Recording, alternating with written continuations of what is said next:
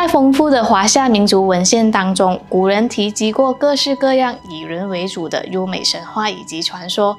然而，在这些被遗留下来的优美故事里，除了人以外，其实还记载了不少关于怪物的奇妙事迹，而他们就是上古的四大凶兽以及四大神兽。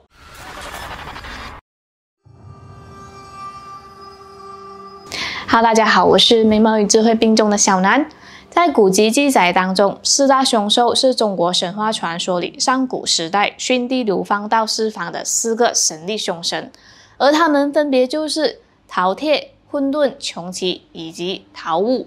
既然说到上古有四大凶兽，自然也有负责保护人类的四大神兽，分别是青龙、白虎、朱雀以及玄武。对于这些怪兽，《左传》和《史记》都均有丰富的记载。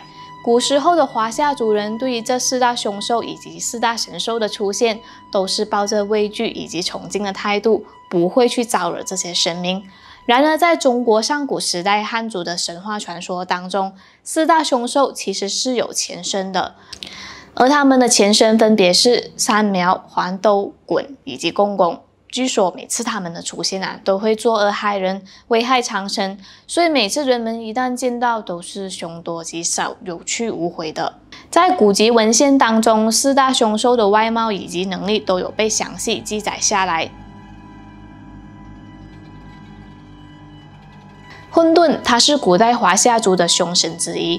据悉，它的形状是肥肥圆圆的，外表像一团火，红彤彤，背后长有四只大翅膀，拥有六条腿，脸上并没有任何的五官，但是却能够通晓歌舞取乐。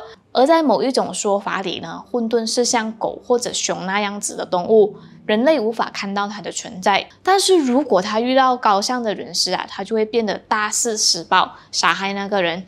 反之，遇到的是恶人，混沌则会听从他的指挥，迫害他人。饕鹗是上古凶兽中长得最丑陋的，它的外表像老虎那样长着犬的毛，身长达二尺左右。此外，它拥有人的眼睛、老虎的脚、猪的口和牙，而它的尾长大概一丈八尺。据悉，他喜欢搅乱荒众，并破坏世界的规律，其个性也非常顽固不化，态度凶恶万分。相传他是北方天帝颛顼的其中一个儿子，原本的名字叫做傲狠，但因为个性厌恶、喜欢害人，所以最后变成了怪物。穷奇是中国传说里一善养恶的恶神，他的外貌大小如牛一般，外形像虎一样，披有刺猬的毛皮和长着翅膀。穷奇的叫声与像狗相似，以靠吃人为生。据说穷奇经常会飞到天上去搏杀，并喜欢将对方的鼻子咬下来吃掉。而如果有恶人犯下滔天大罪的罪行啊，穷奇就会捕捉野兽送赠给那个大恶人，并且鼓励他多做这些坏事。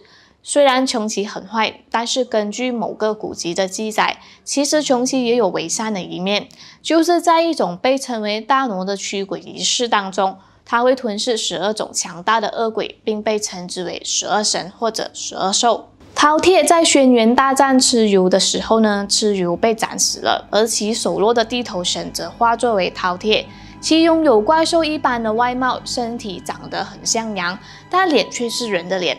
此外，它还配有虎齿兽爪，会发出一种像婴儿在哭的声音，因此常常被人叫做咆哮。它平常以吃人为生，所以它在古代算是人人都闻风丧胆的大怪物之一。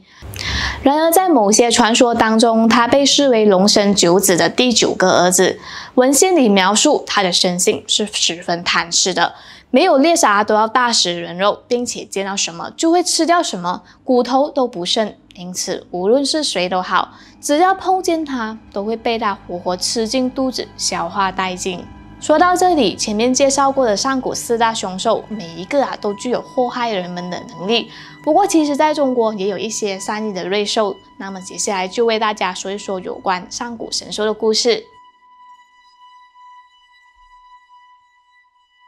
青龙在人间被誉为苍龙翔天，也就是中国古代神话当中的东方之神，同时也是中华民族代表性的图腾。在皇帝受天命的时候，东方是最为吉祥的方向，而青龙在当时就成为了中华民族这整个中国的主体象征，也是古代皇帝的代表吉祥物。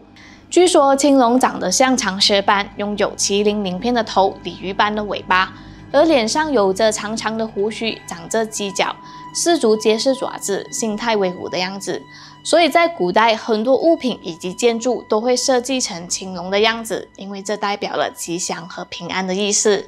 朱雀在中国被视为鸟类中的吉祥物，也就是我们熟悉的凤凰。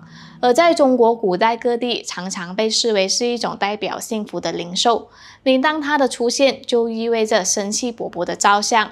在有关的文献记载中，朱雀的原型有很多种模样，例如长得像锦鸡、孔雀。鹰九、鼓、玄鸟、燕子等等。然而，佛教的文集当中，大鹏金翅鸟则是朱雀的另一种神话模样。在凤凰神话里，文献详细记载的凤凰被描述成拥有像鸡一样的头部、燕子的下巴、蛇的颈项、鱼的尾巴以及五色纹的皮肤。它的能力是带有炽热的火焰，会点燃触碰到的一切，让四周永远保持光芒的照耀。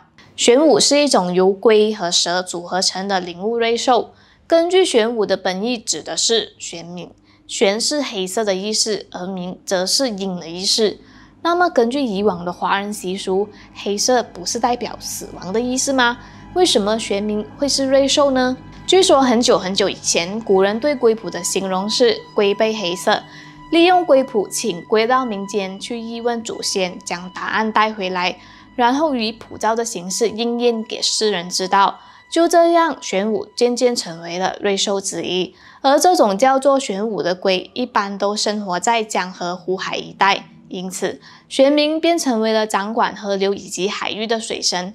另外，玄武龟的寿命都很长，可达千年以上，所以被誉为北方之神。在中国西方一带，白虎被视为是百战百胜的战神。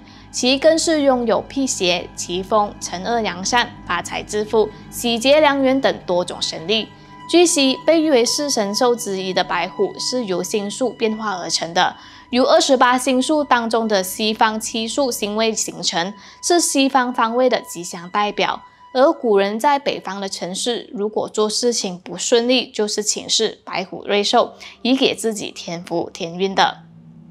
好的，这期内容就说到这里，请继续支持优质内容创作者。我是马来西亚小南，我们下期见喽。